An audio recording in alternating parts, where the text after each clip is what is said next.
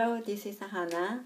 Yeah, the Bible story to pray for the little guy. Oh, don't be afraid because I'm your God. I will make you strong and will help you.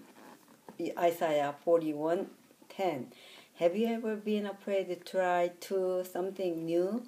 Ask God to give you the courage to be brave like the little kite uh, in the following poem. Yes, little kite following poem.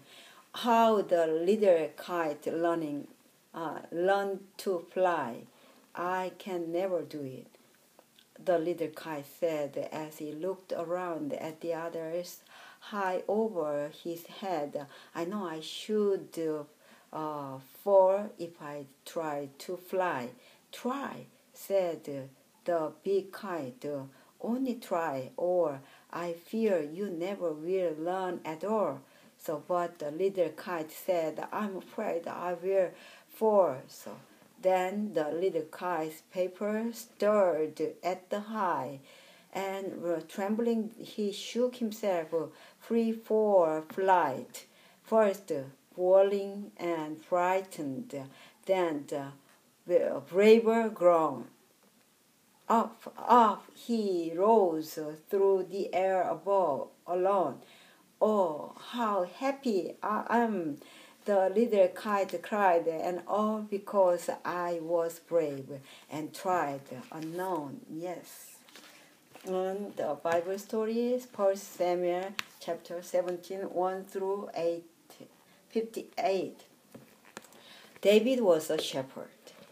His job was to look after his father's sheep.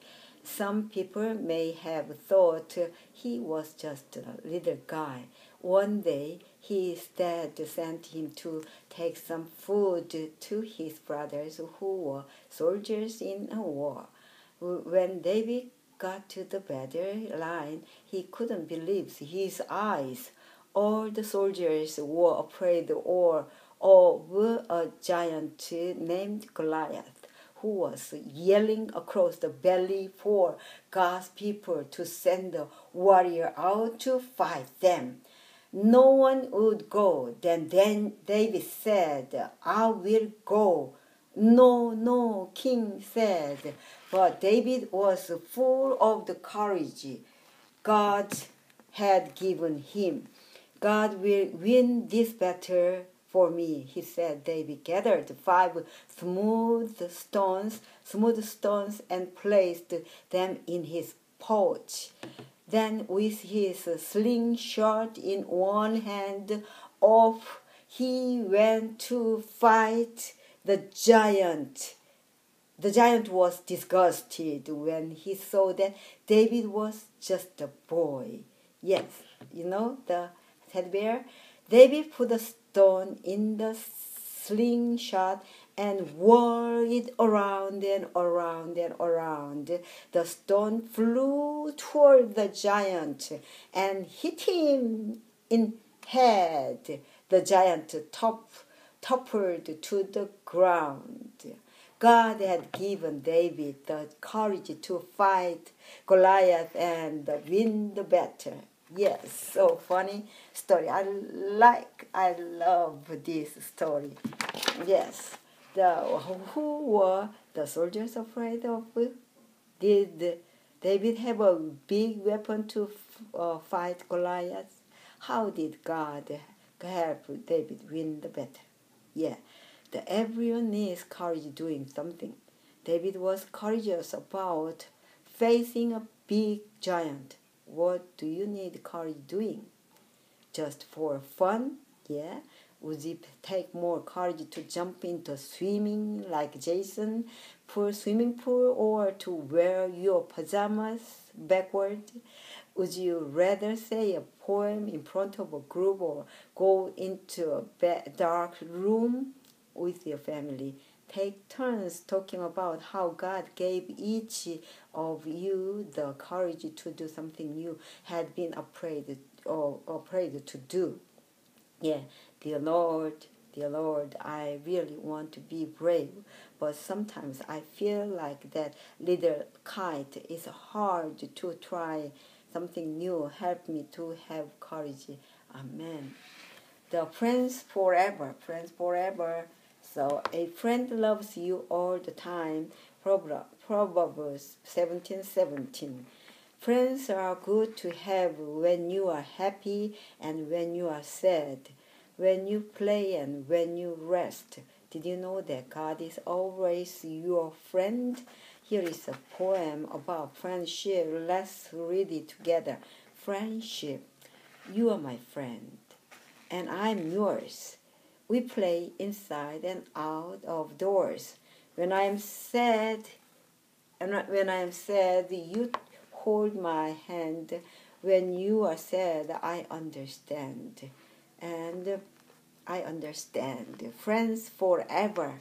I hope we will be till we are at last at least a hundred and three hundred and three grand allies. Now find out about two best friends in the Bible. This Bible grand uh, this Bible author writer. The Bible story, First Samuel 18, 1 through 16 and 20. Yes. David and John, Jonathan were best friends. Jonathan's fa- father, Saul, was king of Israel. Prince Jonathan would have been the next king, but God had chosen David instead. The people loved David. That made King Saul angry and jealous. He was afraid of David and wanted to kill him. Jonathan heard about his father's plan and warned David. Then he uh, he helped David run far away where no one could hurt him. Uh, Jonathan even gave David his coat to where? Yeah, let's go to yeah to run away. And um, who who was Jonathan's best friend? Who was Jonathan's father? Why was King Saul angry and jealous? David must have thought about his friend every time he looked at the coat Jonathan gave him. Here's fun thing to do with your friends to show your friendship. Make a friendship back uh, back uh, bracelet out of a single piece of ribbon, embroidery, embroidery uh, floss beautiful thread or paper chains before cutting carefully measure a piece of ribbon around your uh, uh, friend's wrist so it will fit loosely remove it from the wrist add 4 inches for enough to allow you to tie a knot then cut the ribbon now place it back around your friend's wrist and tie a double knot so the bracelet uh, fit uh, fits loosely. Ask a grown up grown up to cut the ribbon ends near to the knot. Ta-da! You made a friendship bracelet. Yeah, prayer, dear Lord, bless my friends and help us be true friends like Jonathan and David. Amen. Yeah, you have your best friend. Be kind don't ever stop. Don't ever stop being kind and truthful. Let kindness and truth show in all you do. Uh, Proverbs chapter 3, verse 3, chapter 7, verse 7. Yeah. Have you ever let a friend go first to play with a new game or uh, toy? Hooray for you! Did you know that when you sh- uh, show kindness, is it kindness it not only makes others happy, it makes God happy too. Yeah. When Timmy's mom first told him that uh, they were going to help Mrs. Cove, an elderly lady from their church, he thought it would be boring, but he was wrong. Mrs. Cove tells wonderful stories and makes yummy pies. Tim, Timmy looks forward to spending time with her. He shows kindness by being polite and helping her by doing things like holding the car door open. Being kind is a good way to show God's love. Yeah, yeah, being shown kind.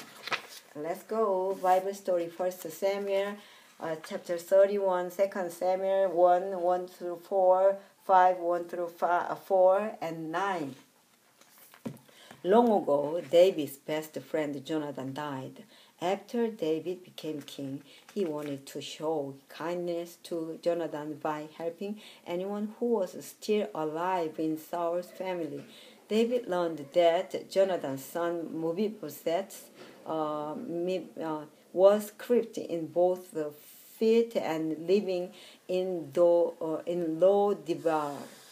David was very kind to Mephibosheth. He treated Jonathan's son as if he were one of his own sons and always let him eat at his table. He also made sure that uh, all of Jonathan's property was returned to Mephibosheth, and that the land was farmed so Mephibosheth would always have food to eat. Mephibosheth uh, lived in Jerusalem, and David took care of him his whole life. David was kind, very, very kind. It's hard things, but uh, we try to do like that. So the who is Mephibosheth? So how did David show kindness to Mephibosheth? If you were Mephibosheth, how would David's kindness make you feared? Are you manners as nice as Davis? Here's fun quiz on kindness. Uh, kindness quiz. When someone does something nice for you, you should say nothing. When you are finished with dinner, it is kind to help with the dishes. When you receive a gift, you should say thank you. When you see a line of kinds or kinds waiting, their turn for a ride, it is kind to push them out of the way and jump in the ride first. Dear Lord, I want to be a kind child and think of others first. Please help me use good manners. Amen. And that uh, do for let's share. Do for other people the same things you want them to do for you the Matthew 7 12. Tina pulled an apple from her base, uh, backpack. Went to share want to share? She asked Cindy. She did, but Cindy's little brothers wanted some too. What should the girls do? Hey, here's a hint. God wants us to treat others the same way we want to be treated. Read the story below for another hint. Jenny didn't want to share her toys. Jenny didn't realize how her selfish behavior made her friends feel until one day when she went to friend's house to play. When Jenny, Jenny wanted to play with friend's beautiful doll house, friend wouldn't let her. Jenny didn't not didn't like not being allowed to play with the dollhouse. Right then, she decided to decided she would tr- treat her friends like she wanted to be treated. Now, Jenny and her friends have lots more fun. Yes. And Bible story, First Kings 17 1 through 16. Times were hard in Israel. The people had not been faithful to God, and He was not sending them uh, rain. So God put Elijah near a stream where he would have water to drink, and where birds fed him bread and meat. But after a while, the stream dried up. Then God told Elijah to go to a certain woman and ask her for food. Elijah went and asked asked. The woman said that she only had enough flour and oil for one more meal for her son and herself, and then they would die of hunger. Elijah told her to cook for him first, and she would be all right, all right, because uh, she had a sharing heart. She did when uh, what Elijah asked and cooked him a piece of bread. Guess what? God made her food last so that so that the woman, her son, and Elijah would eat until once again there was food in the land. So the uh, what did God tell Elijah to do what did the woman do to help Elijah? What did God provide for the woman, her son and Elijah?